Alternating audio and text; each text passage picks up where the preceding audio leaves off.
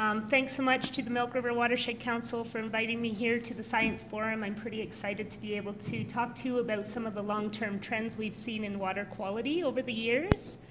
Um, um, I wanted to thank some of the people that have been involved in the water monitoring program over the years. So these people are the ones that are out there on the ground collecting the data and making this presentation possible.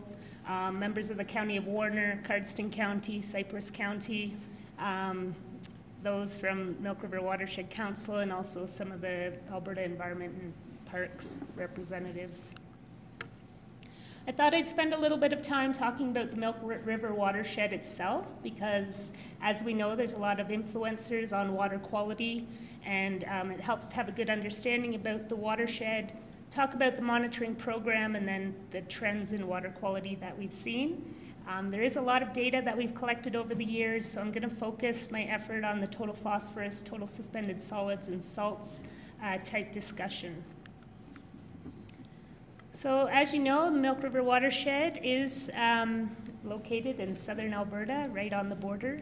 Uh, it's one of the smallest watersheds in the province. It's about 6,664 square kilometers in size. About 60% of this watershed area is crown land and about 40% is deeded. Now, although it looks small, Milk River watershed spans boundary and shares its boundary with Saskatchewan and also Montana, so the watershed is quite large. When you look at precipitation trends over the watershed, um, generally we see higher precipitation to the western side of the basin, so around 450 millimeters of rainfall falls towards the west and about 316 millimeters as you move eastward uh, in the Alberta portion of the watershed. Land cover, we see a lot of native grassland still present here in the watershed. Uh, see some cropland in the central part of the watershed. Um, within the Cypress Hills area, see some forested lands. And again, that's representative of some of the natural region characteristics uh, within the basin. In terms of hydrology, we have the main stem Milk River that's headwaters um, originate in Montana. We have the North Fork of the Milk River, which is actually one of the main tributaries to the Milk River. It looks like the actual main stem, but it is the tributary. The North Fork flows into Alberta,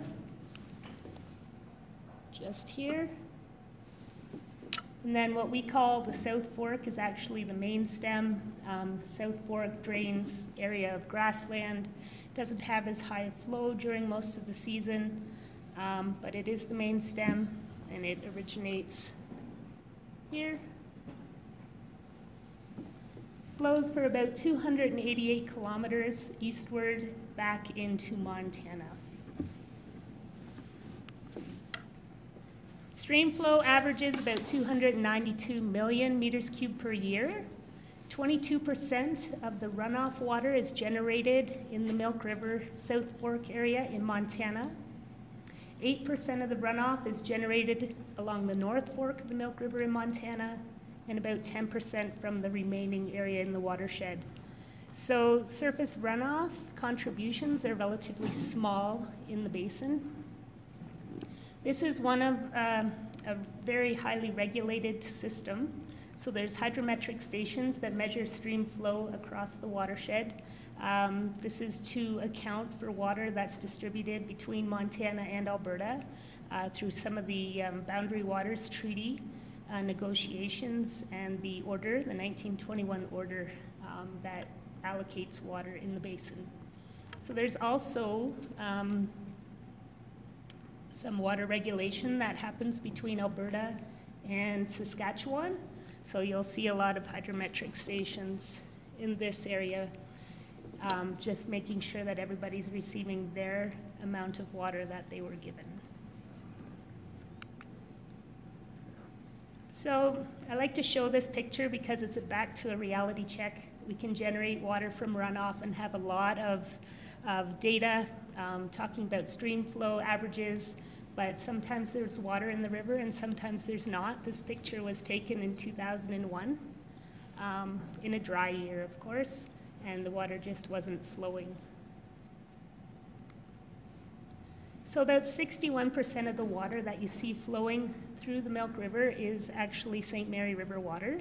Um, so the river is sustained by uh, the diversion flows, the St. Mary River diversion um, that originates in Montana.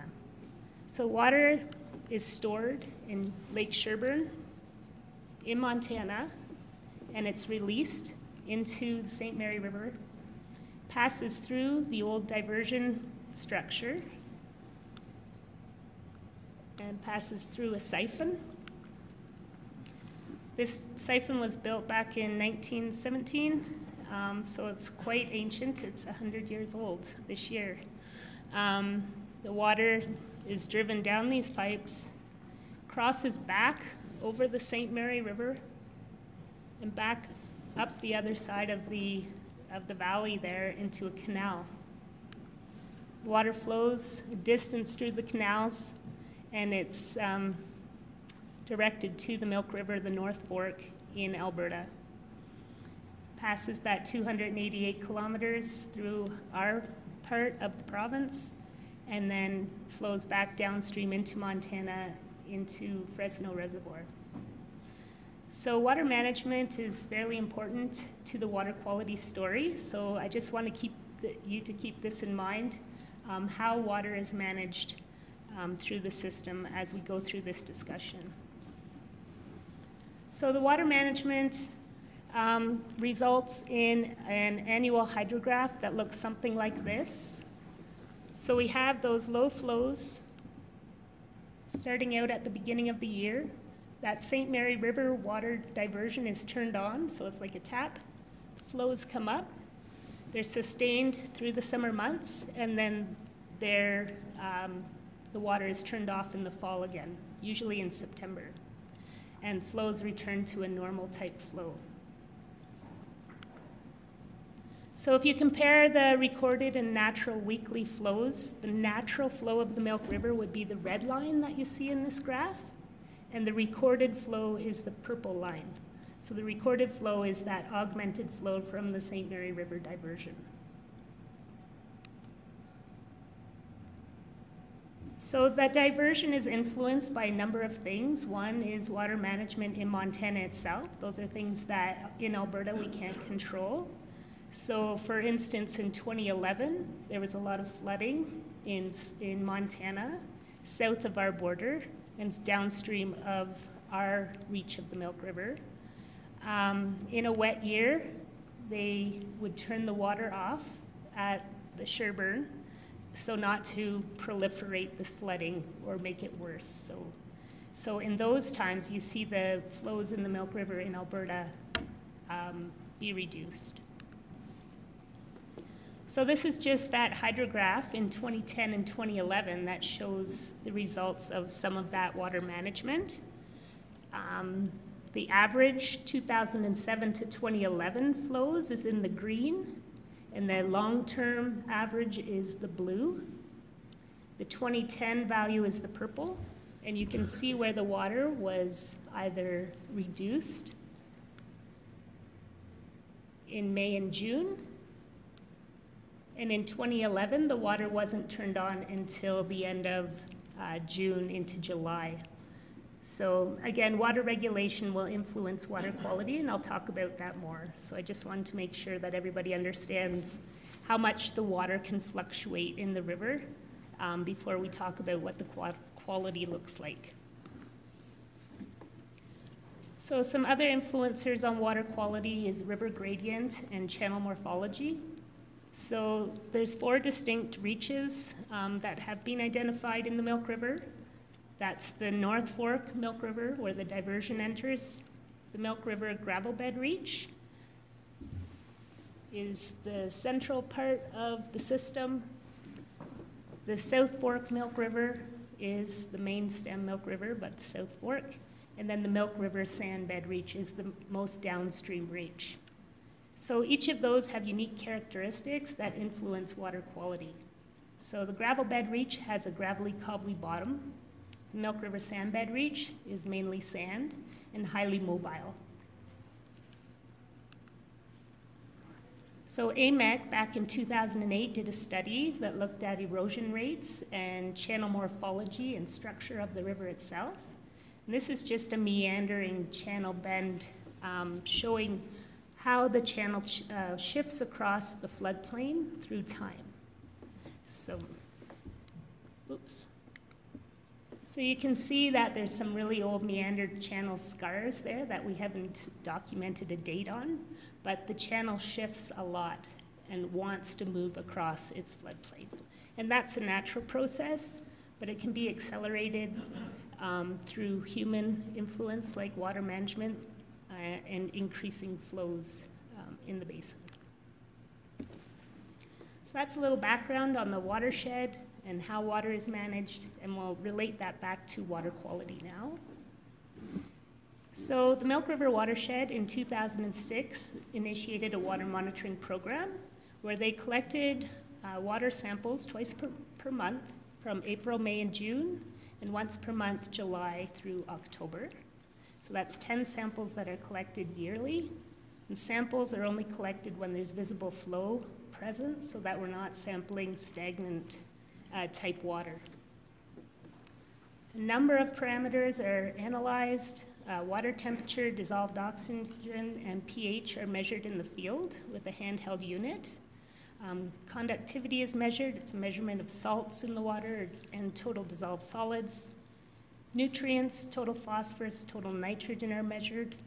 Total suspended solids and fecal coliform bacteria.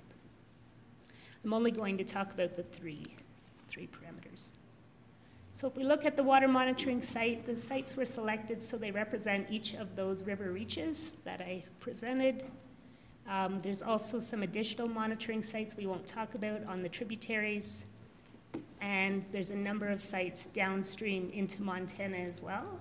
And it's interesting to see some of the data from those sites. So we'll just be talking about these five sites along the main stem. The green circle is the South Fork. We'll also talk about two sites in Montana. One is downstream of Fresno, and the other is at Nashua, which is just upstream of the Missouri River. So here's a few photos of the river itself, the North Fork, upstream of Milk River, and the Pinhorn site. So I pulled together the data to compare water quality by site and I also combined the four sites along the main stem that are influenced by the diversion so that you can see the difference um, between the sites that are influenced by the diversion and the South Fork of the Milk River. Looked at annual variations and also a five-year comparison. Um, 2006, the sampling season really started in July, June or July, um, so it wasn't a full year. So what it looks like six years of data, it's really five and a half.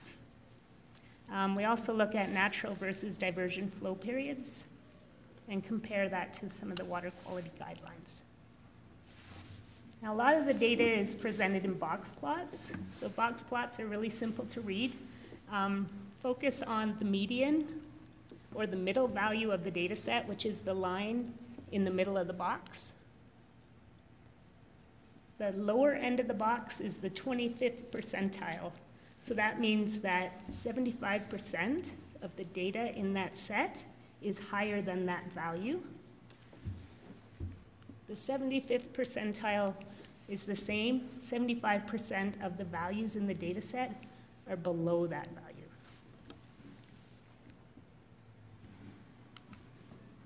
So if we look at the water quality guidelines that will compare the Milk River water quality to, um, the guidelines were updated in 2014. We're looking at irrigation water quality guidelines. Um, less than 1,000 microsiemens per centimeter is safe for irrigation. Anything higher than that poses a possible risk. Um, the guidelines say that if it lies between 1,000 and 2,000 microsiemens per centimeter, um, it's possibly safe. I'm not quite sure what possibly means, but if it's over 2,000, then it can be hazardous. So salt impacts a plant's ability to uptake water. So if it's too high, the plant um, will dry out. It can't get enough water. For total phosphorus, the historic guideline was 0.05 milligrams per liter, and that was a really great benchmark. Um, in the update, the guideline was revised. And it says now for major rivers, phosphorus concentration should be maintained so as to prevent detrimental changes in algal and aquatic communities. So that means you need to have some reference point. Um, what constitutes a change? So I'll still refer to the old 0.05 um, and talk a little bit more about that. For total suspended solids, there is no guideline. So it's just a reference to itself. Within the Milk River Integrated Watershed Management Plan, there was objectives created um, based on the historical data that we had available, and it followed the same process as that what was done in the South Saskatchewan Regional Planning process. Um, so I'll talk more about that. And then down in Montana, they've also developed criteria for water quality, and their criteria is 0.11 milligrams per liter for phosphorus. So it's quite a bit higher than our historic guideline. It's double. So I'll, I'll compare the data to that as well.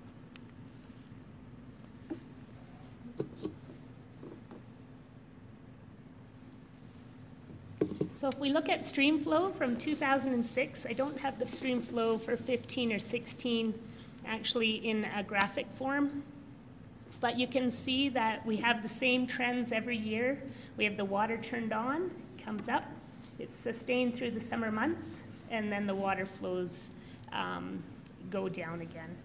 So, and in there we have some peaks where we had a lot of rainfall, um, and some valleys where the diversion may have been turned off. So we know that the diversion startup dates and end dates um, for all of these years. You can see in 2011, um, we talked about that a little bit. The startup date was July rather than in March or April when it's typically turned on. So if we look at some of the water quality trends um, for Milk River, this is total phosphorus on the upper graph. It's in the green. We're showing the total phosphorus for the North Fork of Milk River down to the Pinhorn, so um, upstream to downstream and the Milk River at 501 is that South Fork uh, main stem Milk River. You can see as water flows down through the system, phosphorus increases. So this is a good trend. It's a solid trend. Um, we're going from that gravel bed reach down to a very dynamic sand bed reach um, in the, at the Pinhorn site. Um, the bottom red line is the historic 0.05 milligrams per liter guideline. Um, so the median at the upper end of the watershed is meeting that guideline, but at the lower end we're exceeding it. And in some cases we're exceeding the dotted line, which is the Montana's criteria. But phosphorus is found in two forms in the environment. One is a dissolved form and one is a particulate form. It binds to sediment, so there's a very strong trend of phosphorus with sediment. So if sediment's transported, we'll also see phosphorus moving and transported downstream. So if we look at phosphorus data from 2006 to 2016, see that median value, that middle line in the green boxes, it doesn't move around too much. Um,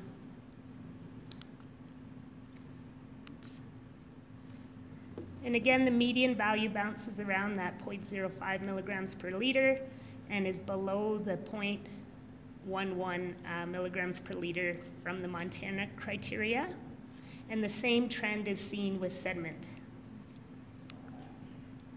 If we compare two sets of data, the five-year period, 2006 to 2011, with 2012 to 2016, we don't see too much difference between those values. So water quality in the Milk River isn't changing um, or varying too much um, through time, and that's to be expected. The main driver here is water management. So as long as the diversion um, is is um, continuing, um, the water quality is staying fairly similar.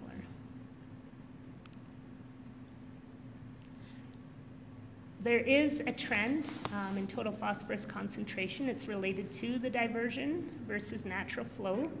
So during the diversion period, we see higher concentrations of phosphorus, and during the natural flow period, we see lower concentrations. Um, the during the diversion, the higher flows um, prolong the saturation of the stream banks. Down in the downstream end, near the Pinhorn, Highway 880, um, you see a lot of sand uh, being moved around. That sand, when it's saturated, is highly erodible. You also see some of the sand resuspended from the bottom of the bed, and that sediment gets carried downstream too. So in the natural flow, we don't have the same velocity or carrying capacity of the water to carry that sediment downstream, and it gets settled out um, and deposited. So. We also see some trends between spring, summer, and winter. Um, generally, we see more rainfall in the springtime. Um, we have more runoff in the spring that can carry um, phosphorus and other nutrients to um, water. So we see higher concentrations in the spring.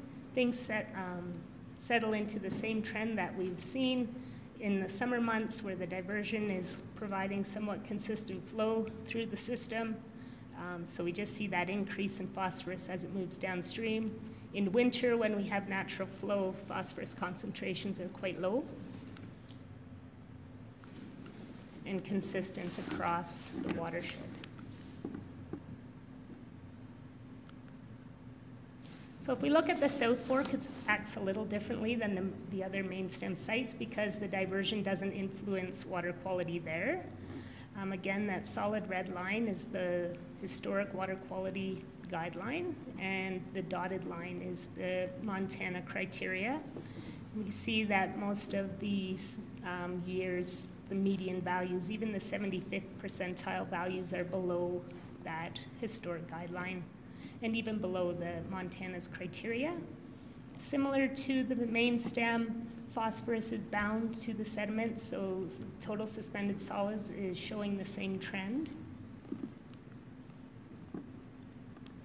And if we compare the two five-year periods, 2006 to 2011, 2012 to 2016, phosphorus concentrations aren't changing too much, and sediment concentrations aren't changing too much. So within the Milk River Integrated Watershed Management Plan, those water quality objectives were defined, and they're based on the historic water quality data. So looking at the 50th percentile or the median values and the 90th uh, percentile or values. Um, this is the same process that the South Saskatchewan Regional Plan followed.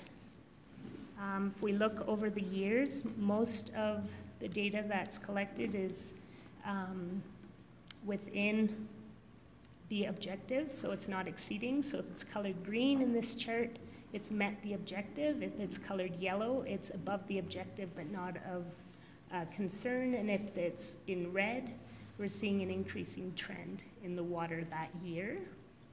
Uh, what we need to do is look at a five-year rolling average and compare that back to the objective. So this is just on an annual basis. If it's red, it may mean that we had higher flows um, for a certain amount of time that increased erosion um, but it's not to be of a concern unless it's persistent through time. This is total suspended solids for the main stem sites. Most years are meeting the objectives.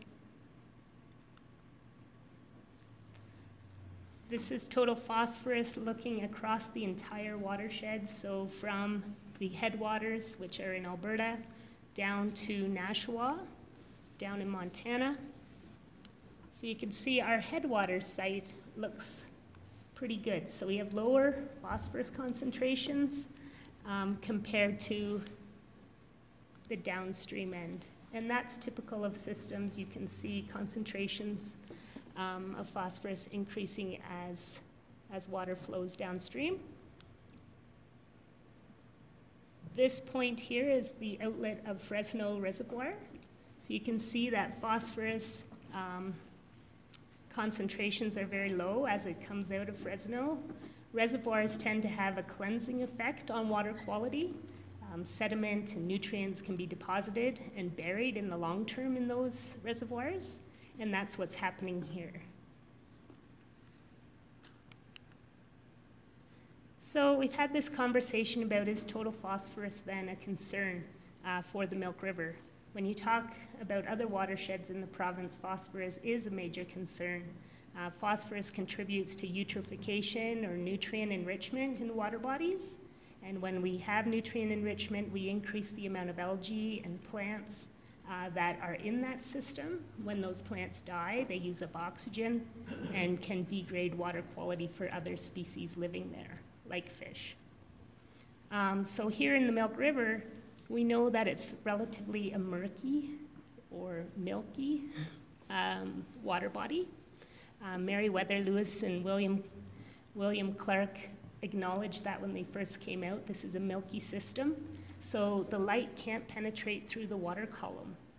And plants need light to grow, so the process of photosynthesis is inhibited. So if plants can't photosynthesize, they can't grow.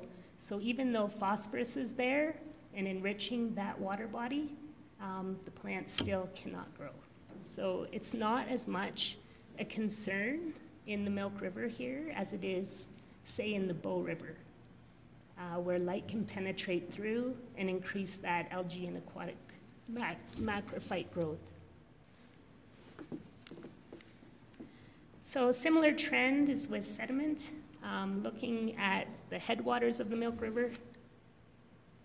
Sediment tends to be lower and increases as you move downstream. Here at the Fresno Reservoir, all that good Alberta real estate gets deposited uh, in Fresno and to the point where it's lost 60% of its capacity to store water.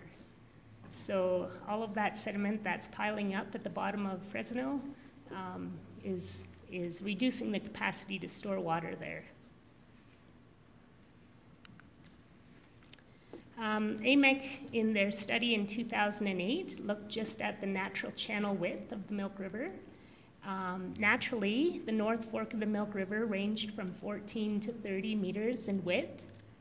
In 2007, that width had increased by 15 meters. If you look at the Milk River sandbed reach, the natural width of the channel was 38 to 96 meters wide. And in 2007, it had increased by 21 meters, so to 71 to 120 meters. So when we think about where all that sediment is coming from and being mobilized um, through stream bank erosion, um, it's carrying phosphorus and moving it downstream and filling up Fresno Reservoir. So part of that has to do back with water management.